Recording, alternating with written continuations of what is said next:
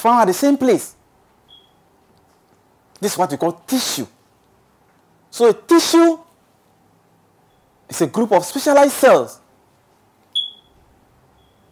that perform the same function. Tissues, group of specialized cells. What are the characteristics of uh, cells in a tissue? These are the characteristics of specialized cells. They are similar in shape and structure. They are similar in size. They are similar in function. They have the same origin of production. And they are found in the same location. I hope it is clear. That's a tissue. Now let's look at tissues in animals. Tissues in mammals. We have different examples. Blood is a tissue made up of blood cells.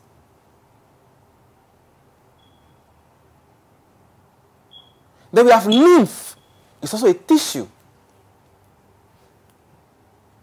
Even bone is a tissue.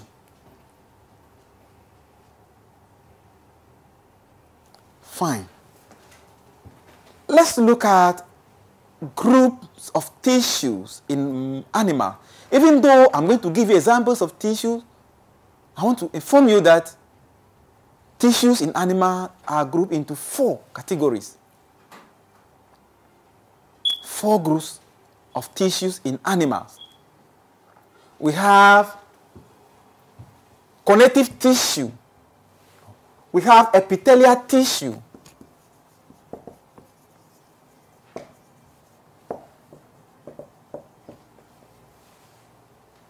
Then we have connective tissue.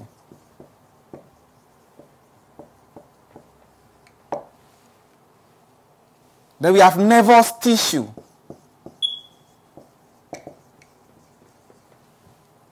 Then we have muscle tissue or muscular tissue. Muscular tissue. I hope we are okay. Under this, we have other tissues that are in this group of epithelial tissue. Now you have a group of tissues that are under connective. A group of tissues under nervous. A group of tissue under muscular tissue. Let's look at what epithelial tissue means.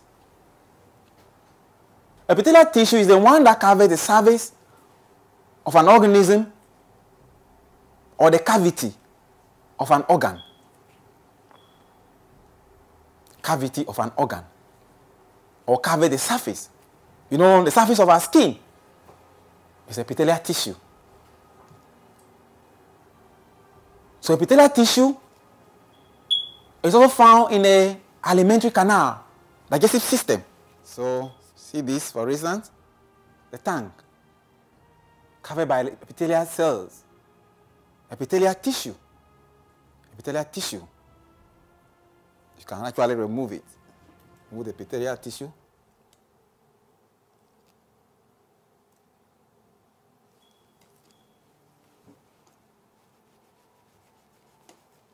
Oh, nice too. So the surface, the epithelial tissue, removing it. Yeah, epithelial tissue. So that's the part that get burned.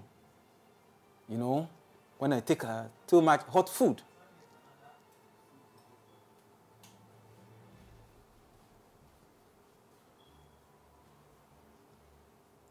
Shall I continue? Until the epithelial tissue their tissue. How about the upper surface? The, the, the upper jaw, epithelial tissue. So you can imagine epithelial tissue is doing. What do you think are the functions of epithelial tissue? Protection. So they are there. The tissue is there to protect your tongue. Look at uh, the respiratory structure. This is a trachea. Inside the trachea, epithelial tissue. You also have trachea. So epithelial tissue, protection, some produce secretions. So the mucus that produce in the nasal cavity is by epithelial tissue. What about in the intestine? What about in the small intestine? For absorption. Because the lining, the villi, the surface of it of absorption. So you see, epithelial tissue, surface of organism, our skin, epithelial tissue, to protect the lining of the cavity the mouth cavity through to esophagus. So we have epithelial tissue lining, digestive system, epithelial tissue lining, respiratory tract, even blood vessels.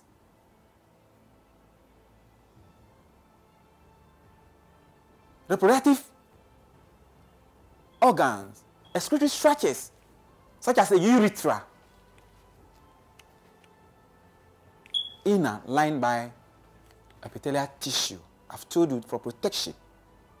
Some help in secretion, and some also help in uh, absorption of useful material into the body. Okay. Let's move on to another group of tissues, connective tissue. Connective tissue is a tissue that basically provides support. Also bind two organs or two tissues together. Also help in transport. So connective tissue provides support, bind two or more tissues or organs, also for transport. That's connective tissue. So remember blood is a connective tissue because it transports oxygen from the lung to the tissue.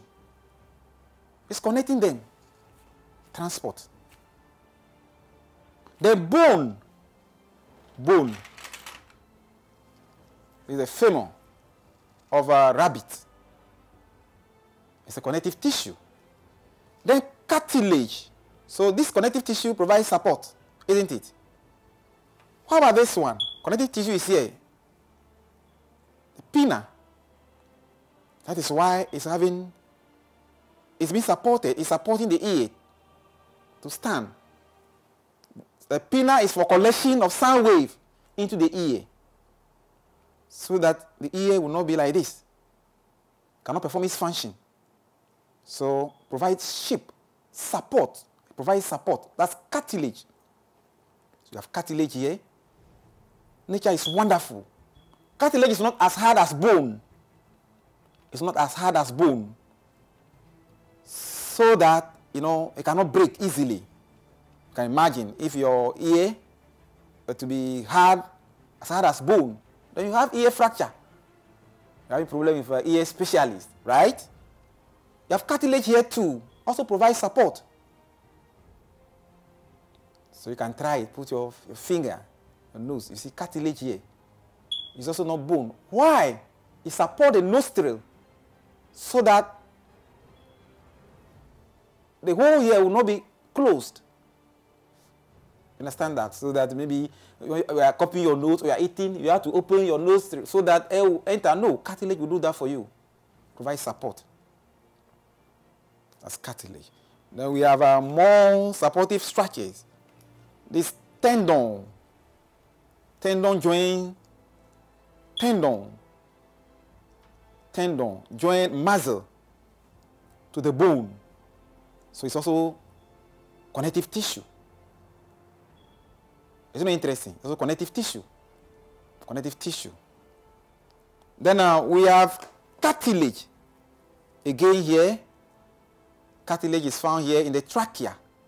Provides support so that the, the lumen is open all the time for you to have enough air You know what happened to the asthmatic patient?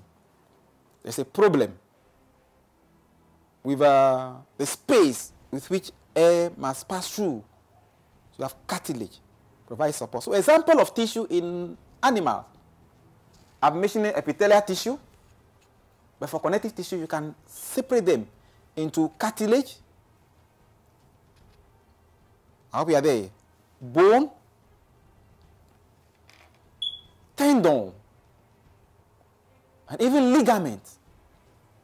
Two bones are joined together by ligaments. Because uh, nature is wonderful. Bone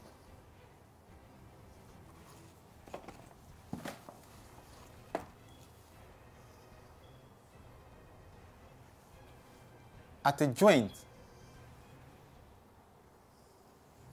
There's maybe a tire bone and the bone of the shin. They are connected together by what we call ligament. We do that in Mega 2. Ligament. So this is a ligament. This bone. This is another bone. That's ligament. I hope it is clear. But the muscle, skeletal muscle, is connected to a bone by tendon. This for objective. The structure which connect the skeletal muscle to a bone is tendon. The structure which connect two bones together is ligament. I hope you are okay. So that's connective tissue. We mention blood. We also mention cartilage. We mention tendon. We also mention ligament. They are all connective tissues. Those we have mentioned, most of them provide support. Blood provide transport of material. Fine. Let's move on to another type of tissue, nervous tissue. Nervous tissue is for coordination. I thought it's very important. You have to coordinate. Coordinate. You have gone to the school canteen. You're not supposed to be there at that time. You bought food with drink. You wash your hand. And you hear the voice or the headmaster. Yes, your ear has received the voice of the headmaster. The brain knows the voice of the headmaster. And your brain knows what the headmaster can do. And your faith in that school. Whether you have removed your footwear or not, you have to go without your footwear and leave the foot. Maybe the bush that will save your life. That's you are coordinating. Your ear has heard it. Your brain knows what it will cost you. So your legs, you have to stand up and you have to start moving with your legs. You look back. You are coordinating. Let's stop and see if Emerson has seen me. You are coordinating. That is a nervous tissue made up of nerve cells, made up of a bundle of nerve cells or neurons. Then we have muscle tissue, muscular tissue or muscle. Muscle tissue is made up of uh, muscle cells, muscle fibers. But they are for movement. They contract and relax and bring about movement. We have three main groups of muscular tissue or muscles.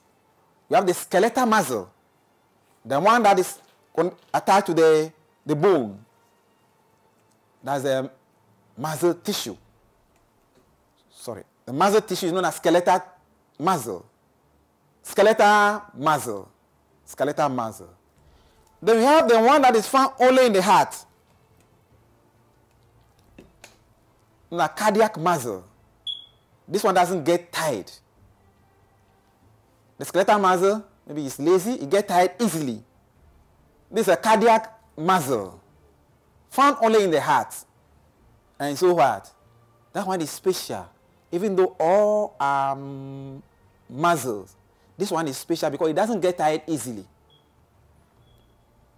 Ever since you were born, your heart has been pumping.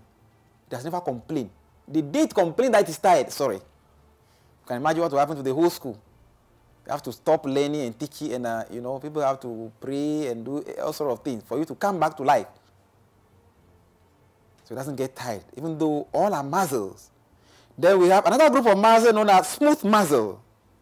Smooth muscles are found in the blood vessels and even digestive system. You know, esophagus. I'll bring you esophagus. When you come to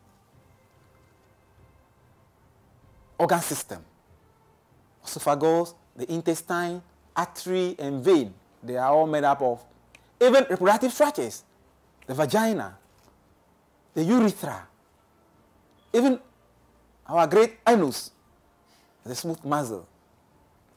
Then, yes, our skin is here.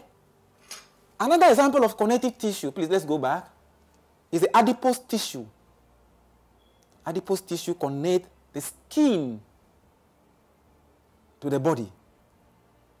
You understand me? So adipose tissue. Adipose tissue. Adipose tissue also hold intestine together. Adipose tissue, intestine. So one day we'll kill a goat and we see how the intestine are held in position. Adipose tissue. So connect so that you know your stomach is here. Will be walking and it will be ringing like bell. No, adipose tissue will hold the organ, internal organs in position. Support them. Remember, it's a connective tissue. Provide support. So that is great. So these are examples of tissue in mammal. A tissue is a group of specialized cells performing the same function. Example, blood. Example, bone. Example, cartilage. Example, tendon. Example, adipose tissue. Example, muscle. I hope you are okay. But now, don't forget that all this can be grouped under four main categories based on how you want to look at them. What if examiner asks you to name tissue in animal? Will you mention this? I suggest that you just mention epithelial tissue and don't mention connective tissue. Mention bone or blood because for the purpose of this course, we are not into the detailed types of epithelial tissue. Epithelial tissue is epithelial tissue because we want to consider our age in this class. When you climb up, then we expand epithelial tissues too. But for now, we can dwell into expansion of connective tissue. I hope you are there. And the muscle, you have skeletal tissue, you have skeletal muscle, you have cardiac muscle, then we have smooth muscle. I hope I'm done with the tissues. Thank you for watching LearnRite Biology. Thank you for watching LearnRite Biology. We are not done yet. This is just the beginning. Join us in the next lesson where we look at tissues in plants. Plants are here waiting for us. See you in the next class.